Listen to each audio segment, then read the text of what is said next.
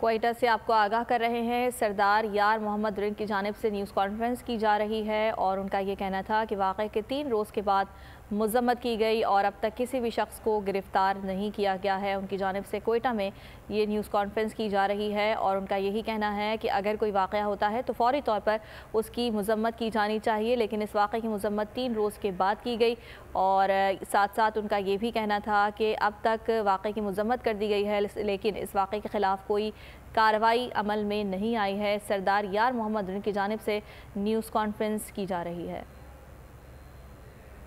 कोयटा से आपको दिखा रहे हैं सरदार यार मोहम्मद रिन की न्यूज़ कॉन्फ्रेंस अपने मुसल्ला बॉडी गार्डों के साथ इस कोयटे सिटी के अंदर कैपिटल के अंदर और कच्छी के अंदर बाकायदे धन धनाते फिर रहे हैं। तो हमें ये यकीन हो गया है कि इस जिन का हमने एफआईआर में नामजद किया है और उनके पीछे कार फरमा कुतें इस वाक़े में मुलविस हैं। और हम ये बताना चाहते हैं कि ये मशरकी बलुस्तान के अंदर एक आग लगाने की एक, पहले ही बलुस्तान एक आग के अंदर सुलग रहा है। अब कोशिश की जा रही है कि इसको और वसत दी जाए। क्योंकि हमारे कुछ कुतों का ये ख्वाहिश है कि किसी तरह से भी बलुस्तान में अमन ना हो। हम अमन के ख्वाहिशमंद हैं। हम अमन चाहते हैं। हम चाहते हैं कि हमारी धरती, हमारी सरजमीन, हमारा सूबा, हमारे लोग सुकून से रहें। मगर कुछ लोगों की ख्वाहिश है कि ये ऐसा ना हो। उसका, जो मैंने उस वक्त भी कहा था कि बाकायदा ये डील हुई थी पंद्रह करोड़ की। और यही शख्स पैसे लेके ये जिनको दो शख्स, फरीद और एक आसिम, पैसे लेके घूम रहे थे।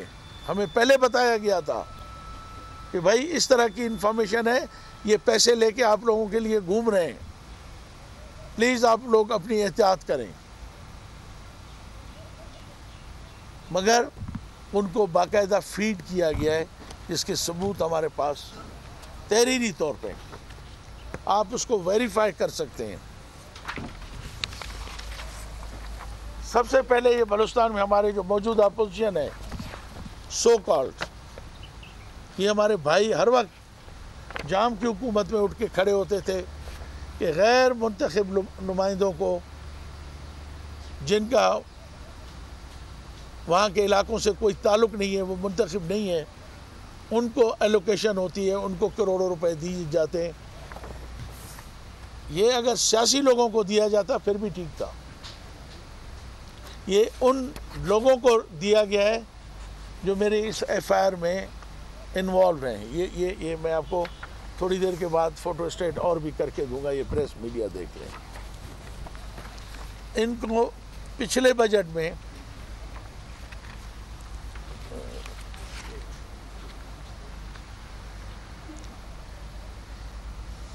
एक हज़ार छियासी मिलियन रुपीस दिए गए मतलब एक करोड़, एक अरब छियासी करोड़ रुपए जिसकी ये स्कीमें हैं, जिसका ये पीएचडीपी नंबर है और एलोकेशंस हैं। ये आपके सामने हैं। इसकी मैं आपको कॉपी देता हूँ। इन्हीं पैसों से, इन्हीं रिसोर्सेज से मेरे ख़िलाफ़, मेरे इलाके के ख़िलाफ़, पहले भी हमें, जब भी हमारे, जब भी हमारे सियासी मुखालफी इकतदार में आते हैं, वो उस वक्त हमारे इलाके के अंदर बदमनी पैदा करते हैं कुछ खून पैदा करते हैं। ये वो पैसे हैं जो स्पेशली अलाट किए गए हमारे सियासी मुखालफी को जिन्होंने मेरे ऊपर कातलाना हमला करवाया है। ये आपके पास प्रूफ है। और ये भी मैं आपको बता दूँ, इस प्रेस कॉन्फ्रेंस का भी करने का मकसद चंद चीज़ों और के अलावा ये भी है कि इस बजट में भी उनको स्पेशली नवाजा जाएगा। उनको अक्टूबर के इलेक्शन के लिए तैयार किया जाएगा। दूसरा एक और प्रूफ है। है। ये देख लें। ये आप प्रेस खुद अगर इसको कवर कर सकते हैं, ठीक है? नहीं तो मैं इसकी आपको एक और कापी अभी दे देता हूँ। आठ कापी मैं दे देता हूँ।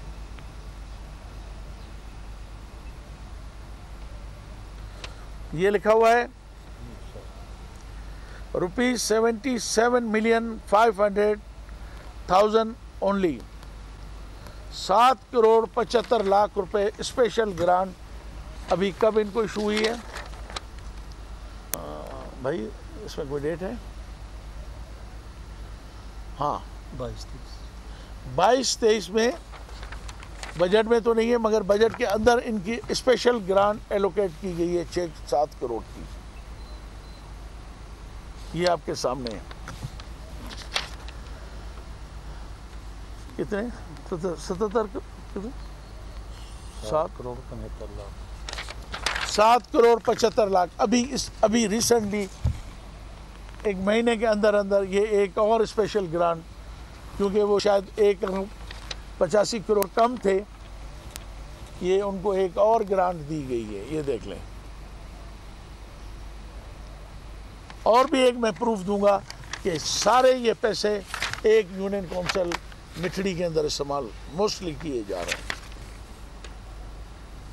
प्रोमोट किया जाता है लोगों को। यार, मुझे पानी देना। मैं आपके तवसत से chief of army staff general Munir साहब को, आसिफ मुनीर साहब से रिक्वेस्ट करूँगा कि प्लीज़ आप इस मसले को देखें। अगर कोई बहुत बड़ा वाकया हो गया, उसके तो आज भी का है? और अल्लाह का भी हुक्म है, कुरान के अंदर भी है, कि इज़्ज़त, जिल्लत मौत और ज़िंदगी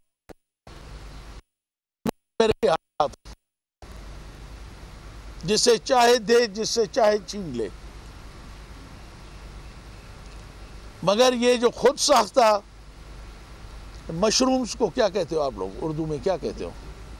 कुंभी तो हमारे लोकल लफ्ज़ है। आप लोग क्या कहते हो उसको? कुंभी कहते हैं? ये मशरूम जो उगाए जा रहे हैं ना आर्टिफिशल इससे पहले ना बलुस्तान के हालात ठीक हुए हैं, ना अब हुए हैं। बलुस्तान के लोग, ऐसे लोगों से न कभी उनकी हिमायत की है और उनके साथ चले हैं। इंतज़ार था ना? चलो इस बार वो करते हैं जो इससे पहले किया ही नहीं। किस्मत की आँखों में आँखें डाल के जीतना होगा। सब में शेर जैसी जर्रा जर्रा भी हर कंटेस्टेंट को लगेगा लड़खड़ाना नहीं है। खोल दो अपने पंख अगर आसमान छूना। अबे लग रहा है ये सब पहले भी कहीं सुना है। एंटरटेनमेंट की गारंटी जनाब। क्योंकि यहाँ खेलोगे कूदोगे तो बनोगे नवाब खुश रहो पाकिस्तान।